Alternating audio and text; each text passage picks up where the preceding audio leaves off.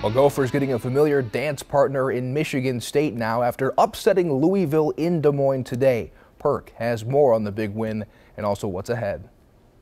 Moving on in the big dance, the underdog Gophers smack Louisville today and so now get to be underdogs again Saturday against Michigan State. Every dance needs music, and the Gophers were making sweet music today in their 10 point win over Louisville. And the very partial Gopher crowd was loving the show.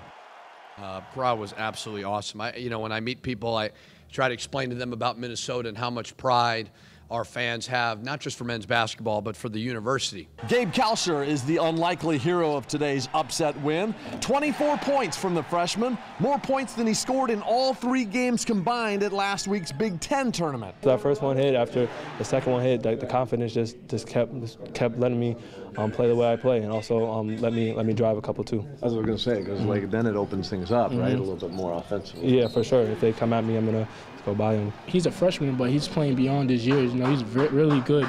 And when you can shoot the basketball, it makes things so much easier. And so it's a familiar foe, the Gophers, and the number two seed Michigan State on Saturday. Obviously, they have one of the best point guards in the country in Cassius Winston. Nick Ward's really talented. Uh, Tillman's really, really talented. Matt McQuaid's playing at a really high level right now. So uh, we're just going to prepare for everything, everything they got. That you feel good, you know, to be advancing. You know, I think Coach said in the huddle, uh, I mean, at the end of the game, uh, even after all that, we're still, you know, one of the last 32 standing right now. A round of 32 that starts on Saturday with the Gophers taking on Michigan State, two teams that met up back in February with the Spartans winning by 24 in East Lansing. That does it for us.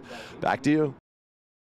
All right, thanks, Perk. Timberwolves this afternoon shutting down Jeff Teague, Robert Covington, and Derrick Rose for the rest of the season. Then tonight lose a fifth game in a row.